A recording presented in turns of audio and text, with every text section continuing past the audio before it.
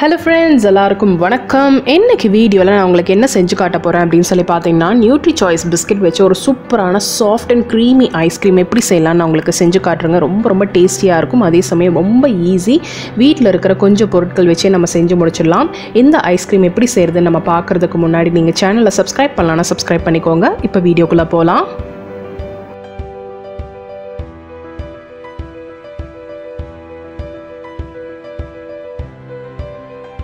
Nutri choice biscuit பார்த்தீங்கன்னா நான் ஒரு பேக்கெட் எடுத்திருக்கேங்க.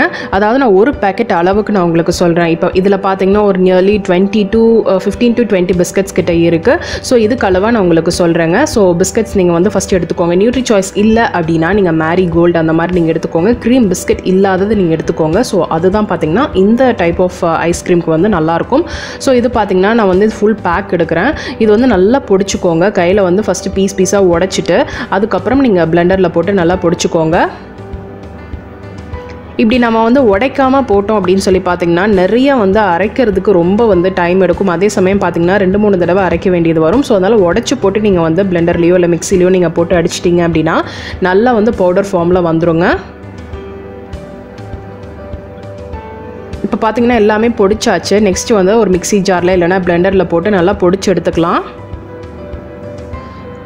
எடுத்த உடனே எல்லாமே நீங்கள் போட்டு அடிச்சிங்க அப்படின்னா ஏற்கனவே சொன்ன மாதிரி ரொம்ப டைம் எடுக்கும். அதே சமயம் பார்த்தீங்கன்னா கீழே மட்டும்தான் அரைப்படும் மேலே இருக்கிற பிஸ்கெட் நம்ம கடைசியில் போகிற பிஸ்கெட் பார்த்தீங்கன்னா அவ்வளோ அறப்படாது. அதனால் கொஞ்சம் கொஞ்சமாக போட்டு அரைச்சி எடுத்துக்கோங்க. அரைச்சதுக்கப்புறம் உங்களுக்கு இன்னும் வந்து பிஸ்கெட்ஸ் மீதி இருக்குது அப்படின்னா கொஞ்சம் வந்து மீதியை வச்சுட்டு அதாவது கொஞ்சம் கொஞ்சமாக தனியாக எடுத்து வச்சுட்டு நீங்கள் வந்து அரைச்சிடுங்க இப்போ ஒரு ரவுண்ட் போட்டு எடுத்தாச்சு. இப்போ செகண்ட் ரவுண்ட் போட்டு எடுத்துடலாம்.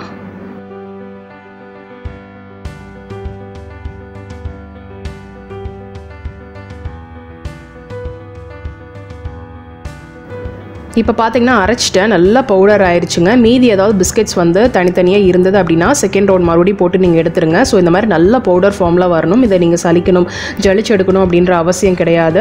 அந்த மாதிரி இருந்தது அப்படின்னா இன்னொரு ரவுண்ட் போட்டு எடுத்துக்கோங்க. நெக்ஸ்ட் வந்து பார்த்தீங்கன்னா நான் அரை லிட்டருக்கு கொஞ்சம் அதிகமாக அதாவது முக்கால் லிட்டருக்கு கொஞ்சம் கம்மியாக வந்து பார்த்தீங்கன்னா பால் எடுத்திருக்கேன். ஒரு பேக்கெட் எடுத்துருக்கறனால இந்த அளவுங்க. இது நல்லா காய்ச்சிக்கணும். இது சுண்டை காய்ச்சணுன்ற அவசியம் கிடையாதுங்க.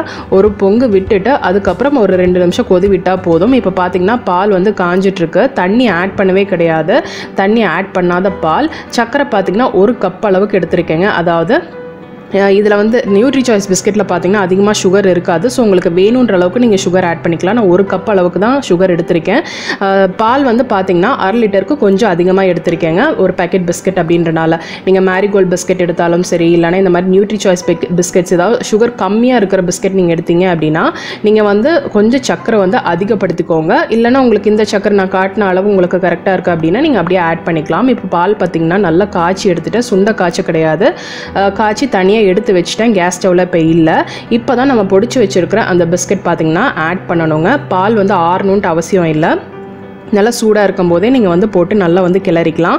இது போட்ட உடனே கெட்டியாகும் பயப்பட வேண்டாம். அதுக்கப்புறம் நாங்கள் நம்ம மறுபடியும் வந்து மிக்சர் மிக்சி ஜார்லேயோ இல்லைனா பிளெண்டர்லேயோ போட்டு அடிக்க போகிறோம் அதனால் கட்டி ஆகிடுச்சு அப்படின்னு சொல்லி நீங்கள் பயப்பட வேணாங்க.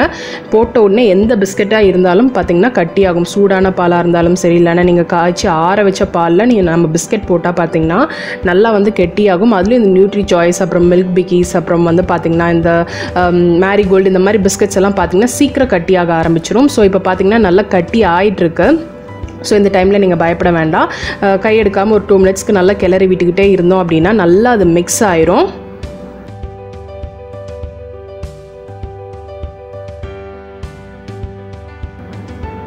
இப்போ பார்த்தீங்கன்னா ரெண்டு ஸ்பூன் அளவுக்கு கொக்கோ பவுடர் ஆட் பண்ணுறேங்க இதே நல்லா மிக்ஸ் பண்ணிக்கலாம். இது போட்டால் தான் பார்த்தீங்கன்னா நமக்கு அந்த அந்த சாக்லேட் ஃப்ளேவர் அப்புறம் கலர் எல்லாமே நல்லா மாறி வரும். இதை போட்டுட்டு ஒரு ஒரு நிமிஷத்துக்கு நம்ம நல்லா வந்து கலக்கி விட்டுடலாம் இது வந்து இதுக்கப்புறம் நம்ம கேஸ் ஸ்டவ் யூஸ் பண்ணுன்ற அவசியம் இல்லை. ஸோ நம்ம சூடான பாலில் தான் இது எல்லாமே ஆட் பண்ணுறோம் இப்போவே பார்த்திங்கன்னா ஒரு எயிட்டி பர்சன்ட் நல்லா கரைஞ்சிடுச்சு. இது நல்லா ஆறுனதுக்கப்புறம் ஒரு எயிட்டி பர்சன்ட் நல்லா ஆறுனதுக்கப்புறம் பார்த்தீங்கன்னா பிளெண்டரில் மிக்சியில் போட்டு நல்லா அரைச்சிக்கலாம். இப்போ பார்த்தீங்கன்னா இது கையில் வச்சு மசிச்சாலே இது மசிஞ்சிரும். ஸோ இதனால் கட்டி ஆகிடுச்சு அப்படின்னு சொல்லி நீங்கள் பயப்பட வேண்டாம். இப்போ பார்த்தீங்கன்னா ஒரு எயிட்டி பர்சன்ட் நல்லா ஆறிடுச்சு. ஒரு பிளெண்டரில் நல்லா போட்டு அரைச்சி எடுத்துக்கணுங்க. நல்லா ஃபைன் பேஸ்ட்டாக இருக்கணும். கொஞ்சம் கூட பார்த்தீங்கன்னா இப்போ நமக்கு கட்டி தட்டி இருக்கிறது எதுவுமே இருக்கக்கூடாது. அந்த மாதிரி நீங்கள் நல்லா ஃபைன் பேஸ்ட்டாக வச்சு அரைச்சிக்கோங்க. இந்த டைமில் அரைக்கும் போது உங்களுக்கு வந்து அரைக்க கொஞ்சம் கஷ்டமாக இருக்குது கெட்டியாக இருக்கிறனால கொஞ்சம் அரைக்க கஷ்டமாக இருக்கும் அந்த டைமில் பார்த்தீங்கன்னா ஒரு ரெண்டுலேருந்து மூணு டேபிள் ஸ்பூன் அளவுக்கு பால் விட்டு நம்ம அரைக்கலாம். இப்போ பார்த்தீங்கன்னா செகண்ட் ரவுண்ட் போட்டு நான் மறுபடியும் அரைக்கிறேன். அரைச்சதுக்கப்புறம் பார்த்தீங்கன்னா ரொம்ப ரொம்ப க்ரீமியாக சாஃப்டாக இருக்குங்க. இந்த மாதிரி இருக்கும் உங்களுக்கு பார்த்தாவே தெரியும். ஸோ இப்போ இந்த கன்சிஸ்டன்சிக்கு நமக்கு வரணும். நல்ல க்ரீமியாக இருக்கணும். நெக்ஸ்ட் வந்து ஏதாவது ஒரு கண்டெய்னரில் இல்லை ஏர்டைட் பவுல் நீங்கள் வச்சுருக்கீங்க அப்படின்னா அது யூஸ் பண்ணலாம். இல்லைனா இந்த மாதிரி ஒரு பிளாஸ்டிக் டப்பா இருக்குது அப்படின்னா ஒரு கிளிங் ப்ராப் கீழே விரித்து அதுக்கப்புறம் நீங்கள் வந்து இந்த மிக்சரை வந்து நீங்கள் ஆட் பண்ணுங்கள் டேரெக்டாக நீங்கள் ஆட் பண்ணீங்க அப்படின்னா நமக்கு ஸ்கூப் பண்ணுறதுக்கோ இல்லை கட் பண்ணுறதுக்கோ கொஞ்சம் சிரமமாக இருக்கும். கொஞ்சம் கெட்டியான மாதிரி இருக்கும். ஸோ இதனால் கிளிங் ப்ராப் வந்து விரிச்சுட்டு அதுக்கப்புறம் நம்ம ஊற்றணும் அப்படின்னா நமக்கு எடுக்கிறதுக்கு ரொம்ப ஈஸியாக இருக்குங்க. இந்த பாக்ஸ் ஃபுல்லாக இந்த மாதிரி கிளிங் ப்ராப் வச்சு wrap பண்ணி விட்டுட்டு அதுக்கப்புறம் நம்ம ஆட் மிக்ஸ் பண்ணி வச்சுருக்கிற அந்த மிக்சர் வந்து இதில் ஊற்றிடலாம் இது பார்த்தீங்கன்னா செட் ஆகிறதுக்கு ஒரு எயிட் டு டென் ஹார்ஸ் கிட்ட ஆகுங்க. நல்லா சாஃப்ட் அண்ட் க்ரீமியாக இருக்கும். எவ்வளோ சாஃப்டாக இருக்குன்னு பாருங்கள் அந்த பேட்டர் ஊற்றும் போதே உங்களுக்கு பார்த்தா தெரியும் எவ்வளோ சாஃப்டாக அந்த கட்டி தட்டினதெல்லாம் எதுவுமே இல்லாமல் எவ்வளோ சாஃப்டாக இருக்குன்னு பாருங்கள் ஸோ இந்த கன்சிஸ்டன்சிக்கு வர வரைக்கும் நம்ம மிக்சியில் அடித்து எடுத்துக்கலாம். இதுக்கு மேலே மறுபடியும் கொஞ்சம் கிளிம் கிராப் வச்சு நம்ம வந்து ரேப் பண்ணி விட்டுட்டு நல்லா டைட்டாக க்ளோஸ் பண்ணி ஒரு எயிட் டு டென் ஹவர்ஸ்க்கு நம்ம ஃப்ரிட்ஜ் ஃப்ரீசரில் வச்சிடலாங்க. ஃப்ரிட்ஜில் வைக்க வேணாம். நல்லா ஹை டெம்பரேச்சரில் கூலிங் டெம்பரேச்சர் இருக்கிறதுல நம்ம ஃப்ரீசரில் வச்சிடலாங்க. இது செட் ஆகிறதுக்கு கொஞ்சம் டைம் எடுக்கும். நார்மலாக நம்ம ஐஸ்கிரீம் பண்ணி எடுக்கிறதுக்கு அதுலேருந்து ஒரு டூ ஹவர்ஸ்க்கு எக்ஸ்ட்ரா ஆகுங்க.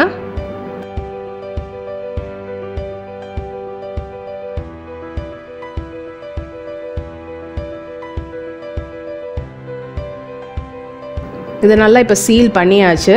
நம்ம க்ளோஸ் பண்ணி இப்போ ஃப்ரீசரில் வச்சிடலாம்.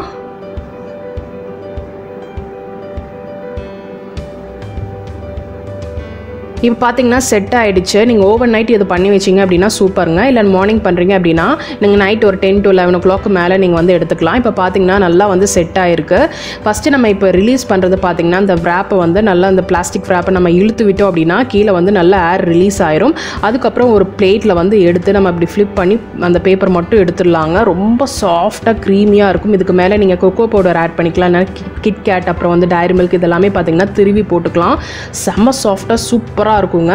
ஈஸியாக பண்ணிடலாம். இதுக்கு பெரிய பொருட்கள் நிறைய எல்லாம் வேணும். அதெல்லாம் எதுவுமே கிடையாது. நமக்கு சுகர் அப்புறம் ஒரு பேக்கெட் பிஸ்கட் பால் இருந்தால் போதும். சூப்பரான ஐஸ்கிரீம் வீட்லேயே நம்ம பண்ணிடலாம். ரொம்ப ரொம்ப டேஸ்டிங்க அண்ட் um, இதுக்கு பார்த்தீங்கன்னா நமக்கு வந்து ரொம்ப டைமும் எடுக்காது. நமக்கு ஒரு டென் மினிட்ஸில் இதெல்லாமே முடிச்சு விட்றலாம் ஃப்ரீசிங் டைம் மட்டும் நமக்கு கொஞ்சம் டைம் ஆகும். அவ்வளோதாங்க சூப்பரான ஐஸ்கிரீம் ரெடி ஆகிடுச்சு இது எல்லாமே ட்ரை பண்ணி பாருங்கள் ரொம்ப ரொம்ப ஈஸி ரொம்ப டேஸ்டியான ஐஸ்கிரீம் கூட. இந்த ரெசிபி ட்ரை பண்ணி பார்த்துட்டு எப்படி இருக்குன்னு கமெண்ட் பாக்ஸில் நீங்கள் கமெண்ட் பண்ணுங்கள் இந்த வீடியோ உங்களுக்கு பிடிச்சிருந்தது அப்படின்னா ஒரு லைக் கொடுங்க. உங்கள் ஃப்ரெண்ட்ஸோட இந்த வீடியோவை நீங்கள் மறக்காமல் ஷேர் பண்ணிக்கோங்க. சப்ஸ்கிரைப் பண்ணலான்னா சப்ஸ்கிரைப் பண்ணிக்கோங்க. நெக்ஸ்ட் ஒரு இன்ட்ரெஸ்டிங் வீடியோவில் நான் உங்களை பார்க்குறேன். தேங்க்ஸ் ஃபார் வாட்சிங்